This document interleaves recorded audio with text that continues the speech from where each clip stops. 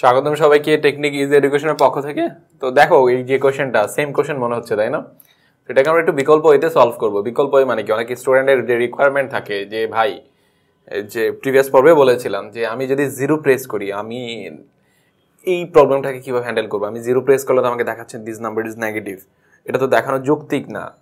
তো এটাকে ওই জিরো প্রেস করলে আমি শুধু দেখাবো ইউ এন্টার জিরো তো সেইটাকে কীভাবে সলভ করব? একটু বিকল্প লিখে দিই, বুঝে আলাদা করার সুবিধার্থে। এখানে দেখো, আমরা যে ইফের সাহায্যে প্রবলেমটা করব ইফ স্টেটমেন্টের সাহায্যে। তো দেখো hash include include stdio dot H তারপর মেইন ফাংশন তারপর দেখো মেইন ফাংশন তারপর তুমি ডেটা টাইপ ডিক্লেয়ার করবে float F L O A T float N U M V E R number তারপর হচ্ছে প্রিন্ট এফকে ইউজারকে আক্স করবা। প্রিন্ট এফ যে এন্টার ইউর নাম্বার বা প্লিজ ইনপুট ইউর নাম্বার যেভাবে বল। ইনপুট ইউর নাম্বার তুমি যেভাবে লিখবা আউটপুটে সেভাবে মেসেজটা দেখতে পাবা। দ্যাটস অল তারপর স্ক্যান অ্যাপ দিয়ে সেই নাম্বারটা তুমি নিবা। পার্সেন এফ সেই নাম্বারটা নিয়ে তুমি রাখবা কোথায়? নাম্বার ভ্যারিয়েবলে তারপরে তোমার কাজ কি? এই নাম্বারটা পজিটিভ না নেগেটিভ না জিরো এটা চেক করা, তাই না? তো এখন দেখো, আমরা ইফ এলস স্টেটমেন্ট ব্যবহার করে কাজটা করে দিব। এভাবে যদি করতে পারো, ভালো। তো আগের যে প্রবলেমগুলো করানো হয়েছে, ওগুলো কলেজ কেটে দিবে, এমন কিছু না আসলে। কিন্তু একদম ইফিসিয়েন্ট ওয়েতে করতে পারলে আরও বেশি ভালো। যে ইফ যদি এই নাম্বার ইউজার যদি এখানে জিরো প্রেস করে, তার জন্য আমি কি দেখাতে interested G you enter zero zero পজিটিভও না নেগেটিভও না। যদি আমি নেগেটিভ বলি, এটাও একটা ভুল মেসেজ যদি পজিটিভ বলি, এটাও একটা ভুল মেসেজ তো তোমাদের লেভেলে সেই ভুলটা অনেক বইতে আসলে এইভাবে দেখা হয় নাই তো এখানে দেখো ইফ যদি আমি যে নাম্বারটা প্রেস করেছি, সেটা কোথায় থাকবে? এই যে নাম্বার ভ্যারিয়েবল স্টোর করা থাকবে। তুমি যদি জিরো প্রেস করো, আমি এখানে একটু রাফ করে দেখাই। তুমি এই লাইনে ধরো ইউজার যখন নাম্বার চেয়েছে, তুমি নাম্বারে জিরো প্রেস করেছ এখানে। এই লাইনটার মধ্যে জিরো প্রেস করছ। তাই না? জিরো প্রেস করছ কমেন্ট দিয়ে আমি লিখলাম জিরো তাহলে সেই, এখন যদি আমরা এই নাম্বারে জিরো আমি স্টোর করি, তাহলে আমি কি দেখাবো? ইউনিটার জিরো তাহলে এটা কীভাবে দেখাবো? ইফ যদি নাম্বার এই number equal equal equal equal একটা কম্পারিজন অপারেটর তুলনা করে যে নাম্বার ইকুয়াল ইকুয়াল জিরো কিনা। মানে তুমি যে নাম্বারটা প্রেস করছ, সেটা জিরো দেখো জিরো আর এখানে তুমি আগে থেকে জিরো সেট করে রাখছো।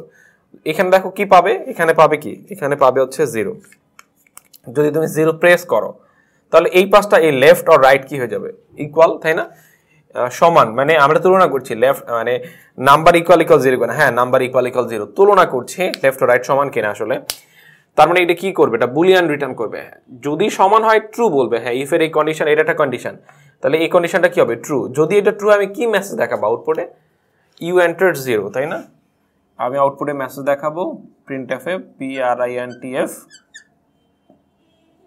ধরো ইউ এন্টার জিরো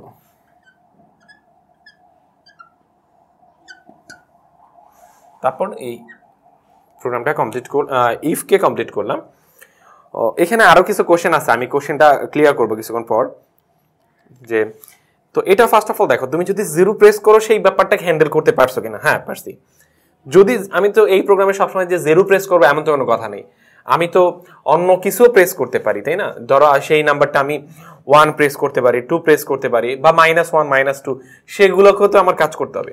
যদি আমি জিরো প্রেস করি, তখনই মাত্র আমি এই মেসেজটা দেখতে পাবো। যদি আমি জিরো না প্রেস করে, ধরো, এরপরে ইফ যদি ওই নাম্বারটা ওই নাম্বারটা জিরো থেকে বড় হয় জিরো সমান হলে দেখাবে ইন্টার জিরো আর জিরো থেকে বড় আবার ইফ কন্ডিশন অ্যাপ্লাই করছি।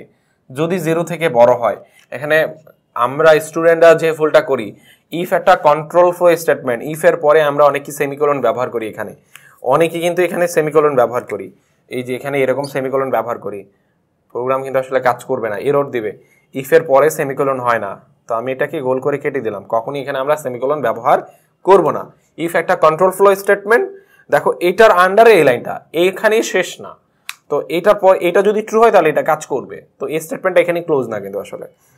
তো ইফের পরে আমরা যে সেমিকোলন অনেকেই ব্যবহার করতাম, আমরা অনেকেই ভুলে যাই মনের অজান্তে করে একটু কেয়ারফুলি করতে হবে। এডিটরে যখন প্রোগ্রাম করব, এই সিম্পল বোল্টের জন্য প্রোগ্রামটা কিন্তু এক্সিকিউট করবে না রান করবে না। তো সো এই ব্যাপারগুলো একটু খেয়াল রাখব। আচ্ছা এখানে ইফের পরে সেমিকোলন হবে না। নাম্বার নাম্বারটা যদি জিরো থেকে বড় হয়, তাহলে কি দেখাবো? দিস নাম্বার ইজ পজিটিভ আবারও প্রিন্ট এফে মেসেজ দিব।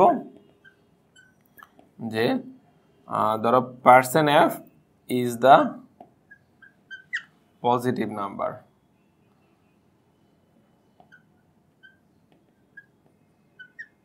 positive number তারপর এই নাম্বারটা কোথা থেকে কাজ করবে? আমার নাম্বার যে ভ্যারিয়েবল ছিল সেই। তারপর আমি সেমিকোলন ব্যবহার করলাম। তারপর এই ইফটাকে ক্লোজ করলাম, এই স্টার্ট এখানে ক্লোজ এখানে। আচ্ছা এটা এটা ট্রু তো নাও হতে পারে। যদি তুমি মাইনাস মাইনাস ওয়ান ইনপুট করো, তার মানে কি? এটা ফলস আচ্ছা একদম শুরুতে খেয়াল করে আসো। তুমি এখানে ধরো মাইনাস ওয়ান ইনপুট করেছ, এই লাইনে যখন প্রোগ্রাম তোমার কাছ থেকে একটা নাম্বার চেয়েছে, তুমি নাম্বার ইনপুট করেছ কি? মাইনাস ওয়ান আচ্ছা তার মানে সে মাইনাস ওয়ান নিয়ে প্রথমে কোন এফে আসবে? এ এফে আসবে। আচ্ছা এখানে কত পাবে? Minus one minus one equal equal কি জিরো মাইনাস ওয়ান আর জিরো কি সমান? কি না, সে চেক করছে। তার মানে কি? ফলস ফলস হল অর্থ কি? সে এই ইফের ভিতরে আসবে না। এ এর ভিতরেই আসবে না।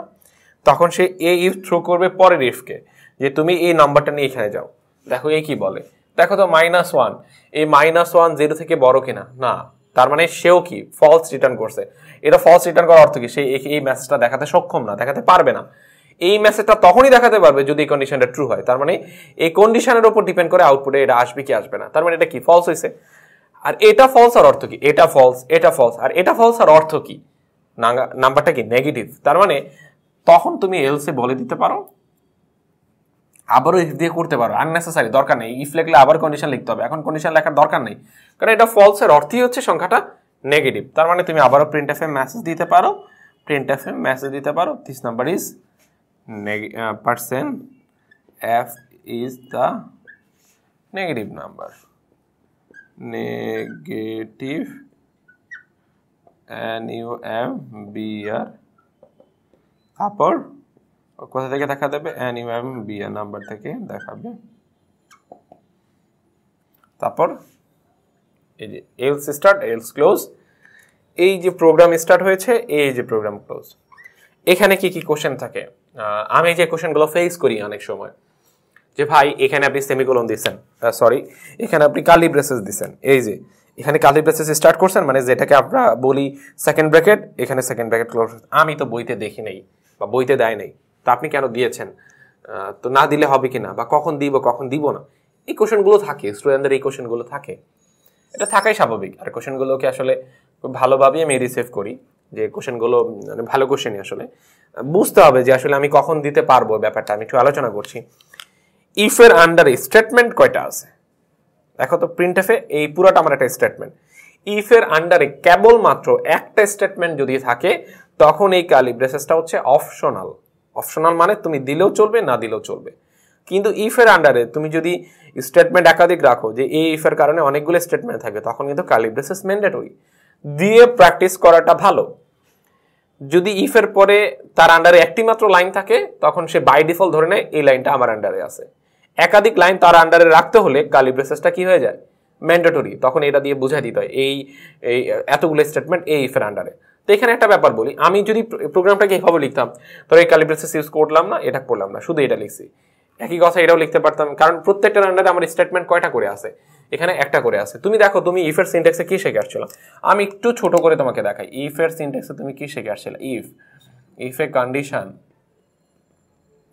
condition তারপর কি আসছিলে S T A T E M E N T statement one তারপর S T A T E M E N T statement two তারপর dot dot dot dot S T A T E M E N T statement N